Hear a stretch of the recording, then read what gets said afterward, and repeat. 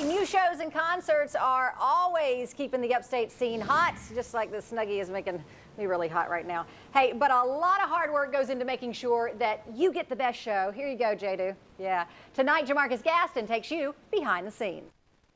Well, that's right, Kimberly. We both know the Peace Center in downtown Greenville is a hot spot for some of the best events around. But have you ever been in your seats at a show and wondered what goes into making all of that happen? Well, we're about to take you from the crates to the curtain with the Tony Award winning musical South Pacific. The War Board, as it's called, maps every function at the Peace Center.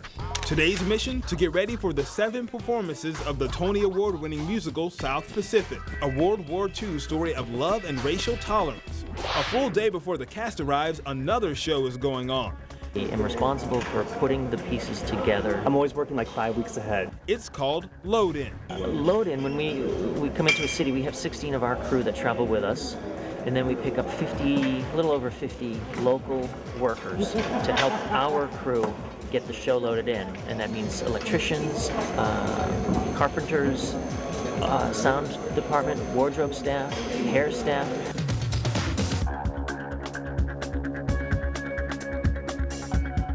Workers climbing ladders, checking lights, getting the pit ready for the 25 local orchestra performers, ironing clothes for the cast of 34. And then there's the job of making sure the cast will have everything they need to perform and enjoy our city. Um, I think my favorite part is that I kind of consider my job as a tour director and that I'm kind of planning people's vacation for the next year or so.